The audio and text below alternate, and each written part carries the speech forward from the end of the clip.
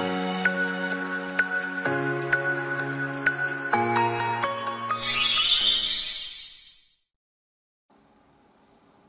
い、こんにちは、レトスノーです。今回なんですけども、抵当建物使用者の引き渡し猶予、民法395条について解説いたします。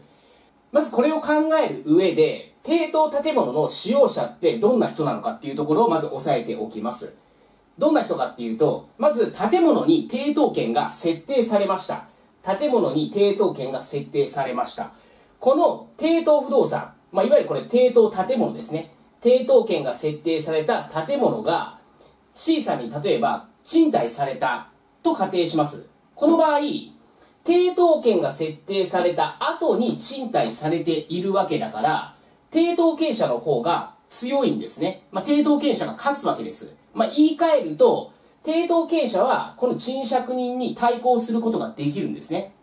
一方で、賃借人は抵当権者に賃借権を持って対抗することができない、まあ、C さんが負けちゃうっていう話なんですよ。これがまず前提の状況なんですね。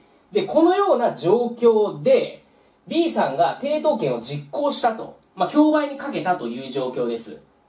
まあ、例えば、A さんが B さんからお金借りてました。で、A さんが B さんに返済期日になっても返済しません。だからもう B さんとしては、これは困ったなということで、抵当権を実行する。つまり、競売にかけるっていうことですね。この建物を競売にかけます。そうすると、まあ、誰かしらが協落するわけですね。落札するわけです。今回 D さんが協落したと仮定します。この場合、D さんは買い受け人と言います。まあ、協落する、競り落とすっていうのは、まあ、買い受けたということなので、D さんは買い受け人になります。そうすると、D さんっていうのは、C さんが借りている建物を買い受けているわけですよね。で、この場合、この買い受けた原因っていうのは、この抵当権の実行じゃないですか。つまり、この抵当権の対抗力をそのまま D さんが引き継ぐ感じになるんですね。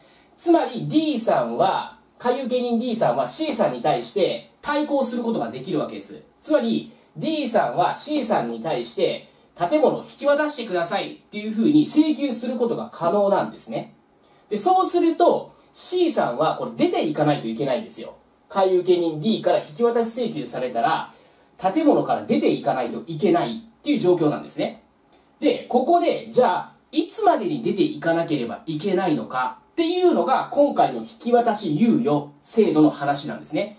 引き渡し猶予制度の話になってきます。これ、いつまでに出ていかないといけないのかっていうと、C さんは、この買い受けから6ヶ月以内に引き渡しをすればいいんですね。つまり、言い換えると、買い受けから6ヶ月間は、建物の引き渡しが猶予されます。C さんは。